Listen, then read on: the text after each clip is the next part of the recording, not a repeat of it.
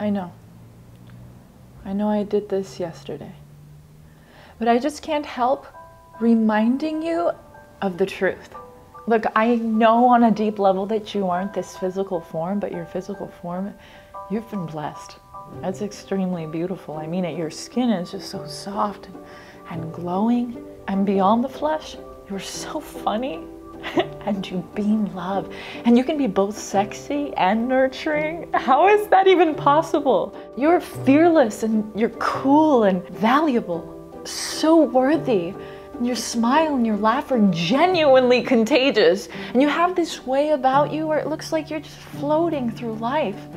And the way you see things beyond those celestial eyes, the way you look at me, it makes me makes me want to cry. And how you accept me with such gentle compassion, especially when I make mistakes. This love is beyond any other love I ever felt. I didn't even think it was possible. I feel so full, like I need nothing and no one else. Like I'm free.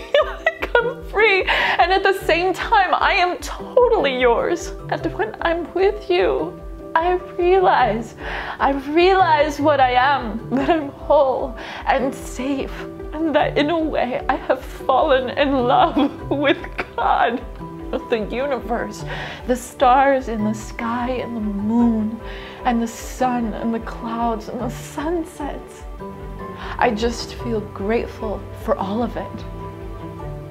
Your energy, it is divine.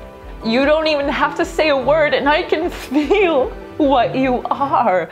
You are heaven in flesh and I'm not trying to flatter you. This is true.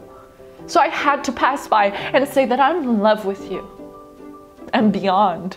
I'm in a state of love when I'm with you. Actually, that's not fully true because even if I forget deeply, I know that this love is there. I promise that I will never leave your side.